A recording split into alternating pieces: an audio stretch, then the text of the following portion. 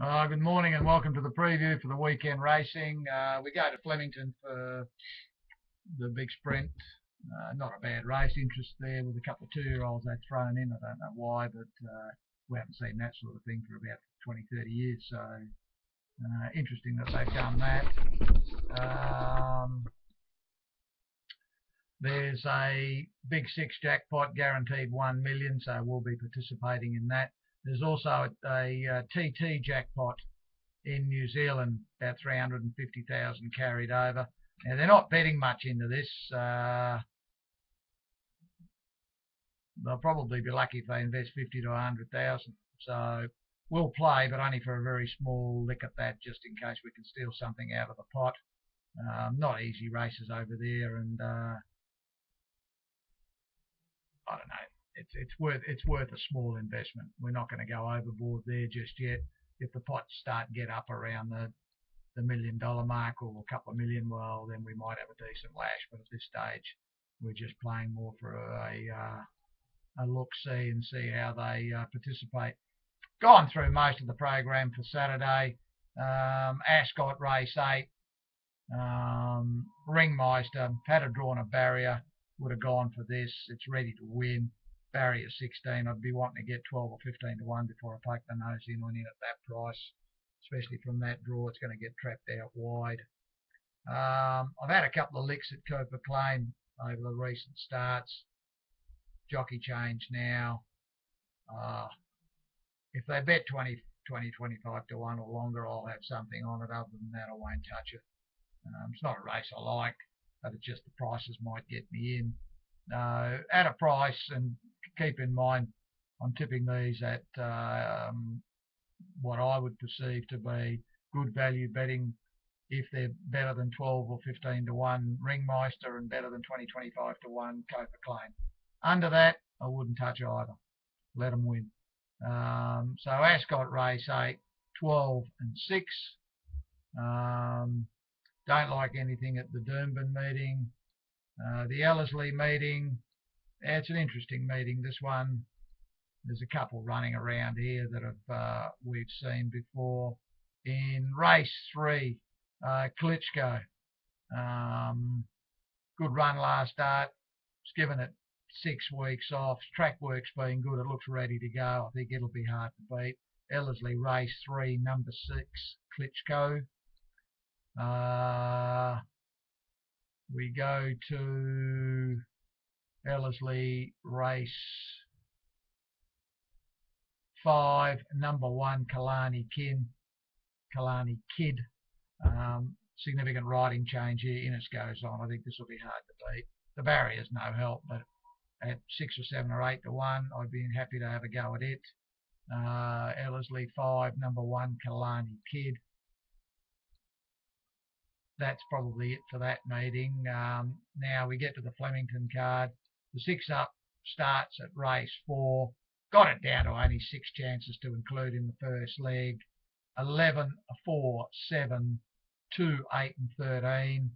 It's an interesting race. They'll probably be the only ones realistically in the market.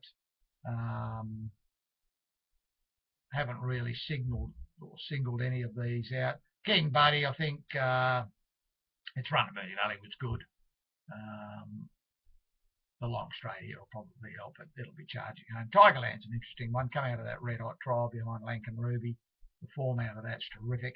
And um, it's a pretty smart horse this. Uh, I think this might be uh, might be one that uh, could have a bit of uh, upside going forward. But they look the ones we're going to take in the first leg. 11, 4, 7, 2, 8 and 13. Go to the second leg. Uh, I think there's realistically four winning chances here five girl in flight, four scratchy bottom, three sensibility, and one solicit. The only one that I'm considering putting in is the two Quayside. Um, its run in Sydney was good. He sat at the back of the field on a slow tempo. He was sleeping there. They took off and he was still there.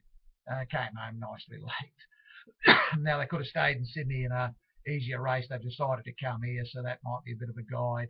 At 15 or 20 to 1, I think we we probably compelled to put it in because if it happens to get up, it's going to knock most of them out. Um, so probably uh, we'll finish up with one, two, three, four, five in the second leg. We go to race six. Uh, I think we're probably going to split the ticket here. Uh, four and six is the main two on the main ticket. I think uh, Hucklebuck and the quarterback, I think one of those two is probably going to be hard, hardest to beat in this race. Of the rest, there's probably four others that we would have to include. One Polanski off a reasonable trial. 1400 first up's probably um, more suitable than its previous first up preparation, so I think that's going to help. Uh, two criterion off a reasonable trial, it's got to go in.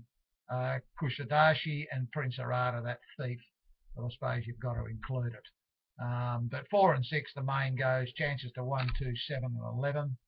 We get to the main race, tough race this, bit of speed. They put the two-year-olds in here. We haven't seen that for 20 or 30 years. They don't run in this race, even with the 10 or 12 kilo pulling the weights. Uh, they're just too immature. And why they would even consider starting them, I don't know. I think a trainer at Burmeier says he's going to use this as a guide whether he starts it in the Blue Diamond. I think he's yanking his chain myself personally, but uh, anyway, with 46 kilos, I think it's going to help us. Uh, found a couple here that'll be running on, and uh, I think Boomwire might help um, bring Smithland undone and go and drive it nuts. I'm hoping that's what's going to happen.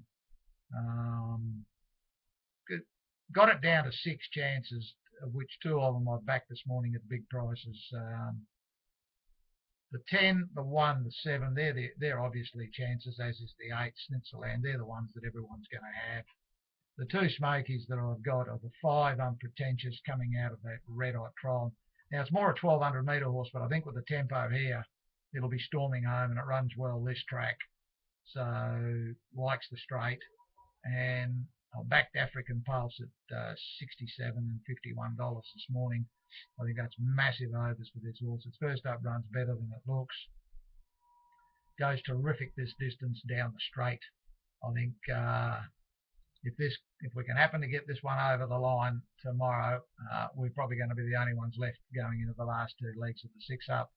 And um, on top of that, it'll be a decent result on the straight out. So we will be taking six, but we'll be pushing hard for five and six to win the race for us at big prices. Excuse me. 10, 1, 7, 5, 8 and 6 go in for us. We go to race 8. Not a lot of depth in this race. Got it down to four main chances. 7 Great Lane. 8 Are There Any. 1 Backstead and 2 Nevis. I think they're the only four we'll take here. Uh, don't really like anything else. And we go to the last and again, I've got this one down to four chances as well. Uh, I think Club Command, terrific record this track and distance, very, very hard to beat. Um, the circles, forgets the bloods run in front like it did last time, might be hard to run down. Uh, hey Lil was a good run first up. If it goes forward from that, it'll be in the finish. And the nine Desert Journey, this is my Smoky, um, was ridden like a complete black first up. They got rid of him, put a decent rider on it, drops a heap of weight got a beautiful draw. It's going to sit on the speed, and uh, it's my knockout horse. Must go in number nine, Desert Journey. We'll take two, eight, nine, and eleven in the last. Um, don't like any of the other Aussie meetings. We go to Pukekura where the uh, TT jackpot is. First leg, pretty difficult. I've got it down to eight chances. Not sure whether we've got a banker here or not at this stage.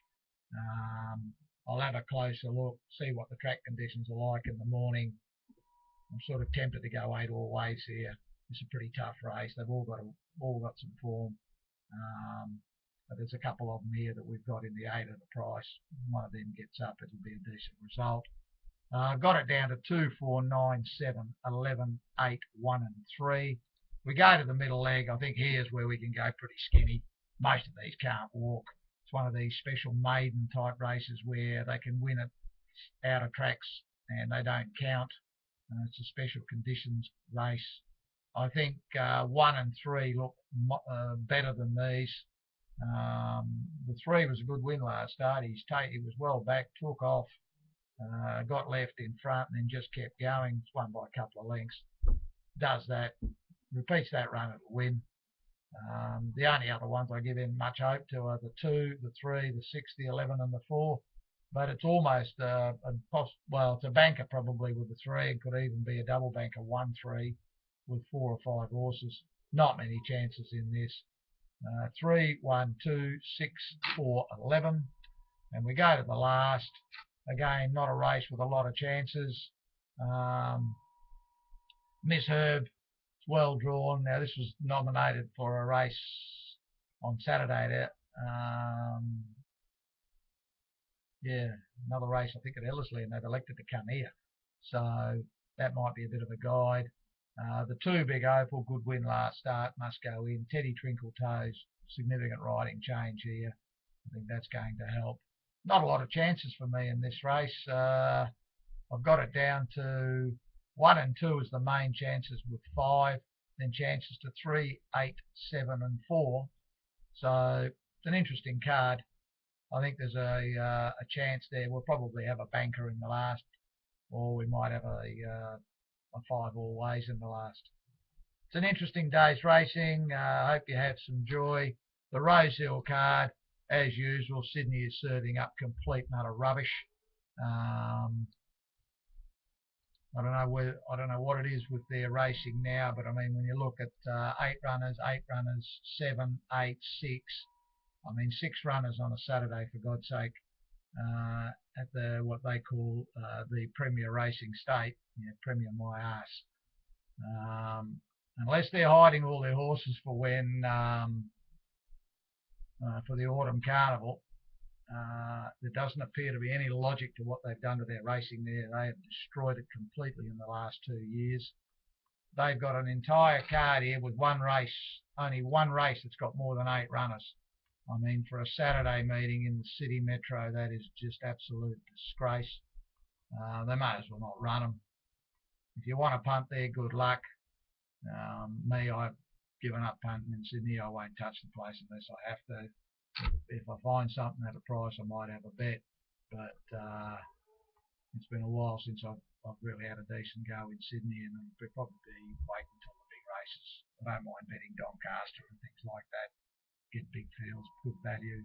I think we just wait for the carnival there and uh, let Mr. V'landys do whatever he likes. He seems to be the uh, the genius. He built that fantastic grandstand for him and his mates, um, and the nine other people that seem to go to the races every week. So, not sure what's going on there, guys. So, if you like betting in Sydney and like backing favourites and taking the shorts, well, I suppose it's not too bad, but uh, it's not my cup of tea good luck on the weekend. Um, we go to Sha Tin on Sunday. As you can see, I'm well and truly rugged up. It's about four degrees here. It's freezing.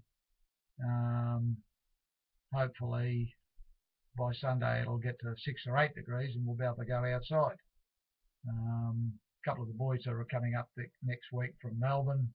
I've already sent them an email, told them to rug up. Uh, although Melbourne, they should be used to the cold. Uh, there's a jackpot on Sunday, I think, in the TT, and we'll have a look at a couple of the quartets. Uh, but I'll have a closer look at that and do the preview for that on Saturday afternoon. Thanks for tuning in, and uh, if you're playing on the weekend, good luck and great success to you.